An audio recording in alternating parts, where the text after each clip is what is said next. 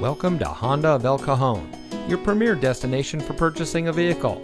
And here's a look at another one of our great vehicles from our inventory and comes equipped with MP3 player, Bluetooth smartphone integration, keyless entry, stability control, climate control, steering wheel controls, power outside mirrors, air conditioning, traction control, cruise control, and has less than 45,000 miles on the odometer.